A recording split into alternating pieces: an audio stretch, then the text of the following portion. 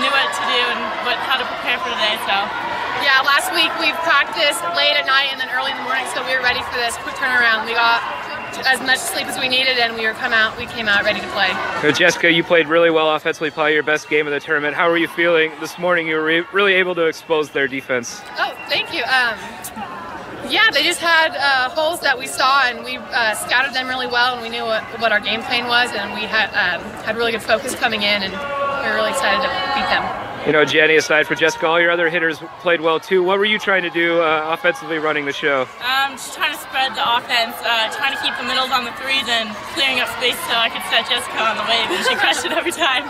All right, looking forward to tonight. You guys got Park in the quarterfinals. You guys are used to this stage. You know, what are what are your thoughts as seniors coming into to your last quarterfinal match?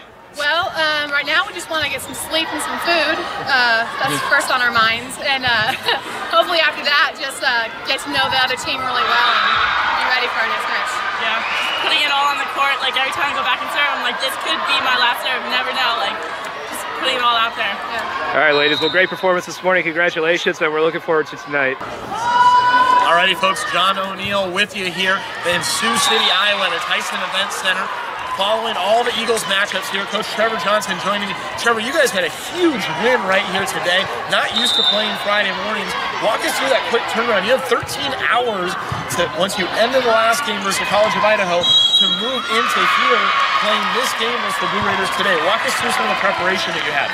Yeah, credit to our girls. You know, uh, proud of their resiliency. You know, our backs are against the wall right now, and, and they're playing like it's our last match. And so for them, you know, they got some rest last night. We watched some film this morning, um, so they're, they're fired up and ready to go. And I'm excited to see what we're going to do in this tournament. So we, you know, quick turnaround for us against Park, and we'll see what happens.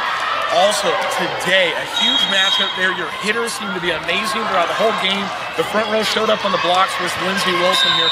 Walk us through peaking at the right time. It just seems like this might have been, in your opinion, you think the best matchup that you guys have had and played the best in the tournament? Yeah, I think this is our best game for sure. And our blocking was on point, our defense was on point.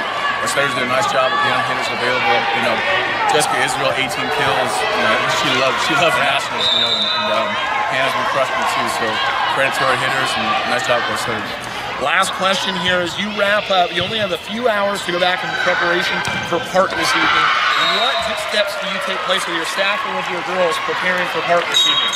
Yeah, well, um, you know, we're going to get prepared for Park. We have some video on them, so we're going to scout them for like we know what we do. And you know, the best team's going to win, and whoever wants to win. So we're, we're excited about it. That's a good one.